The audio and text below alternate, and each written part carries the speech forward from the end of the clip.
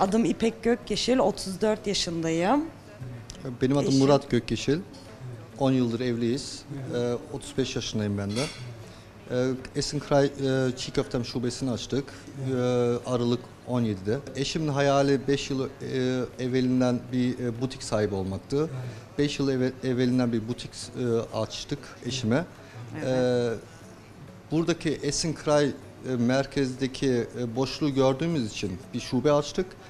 Ee, ondan sonra her gün eşim benden çiğ köfte istediği için yandaki dükkanımıza boşaldığı için dedim çiğ köftem markasının altında, çatısının altında buluşalım ve öylelikle bir e, çiğ köftem e, Kray şubesi oldu.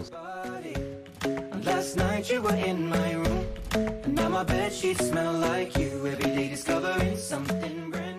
Çiğ köfte tercih etmemiz sebebi e, kalite olarak, şube olarak Avrupa'da yaygın bir marka olması, e, başka markalara benzememesi, e, her şubenin her yerdeki tadın aynı olması.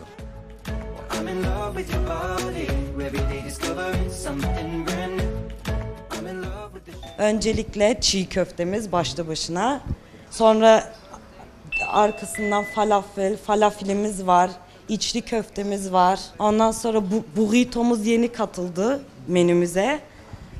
Ee, böreklerimiz var. Sarmamız var. Çeşitli pasta çeşitlerimiz var. Böreklerimiz zaten patatesli ve çikolatalı. O yüzden vegan ve vejetaryen müşterilerimiz memnuniyetle yiyebilir. I may be crazy, don't mind me. Say, boy, let's not talk too much. Verdiğimiz hizm- hizmetler arasında böreğimiz söylediğim gibi, e, baklavamız var, pasta çeşitlerimiz var, çorba çeşitlerimiz var. Tabii ki çay ikramımız da var, kahve, çay ve bundan dolayısıyla kek, çay içmeye müşterilerimizi bekliyoruz.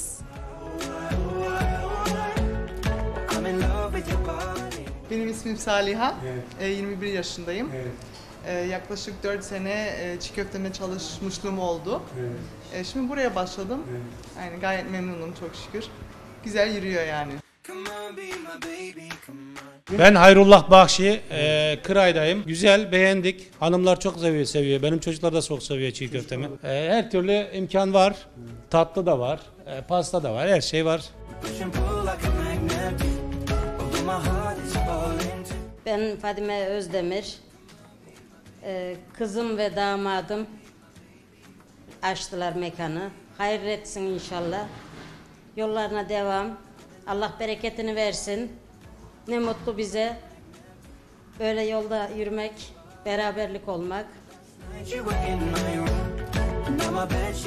O zaman ne diyoruz? Ne yaparsanız yapın, aşk ile yapın.